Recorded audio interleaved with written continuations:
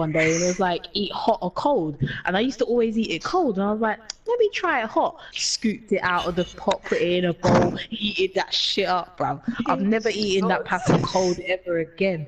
I have to eat that pasta hot now. If I'm not, that pasta is I fire. might have to try that. Oh, spicy chicken pasta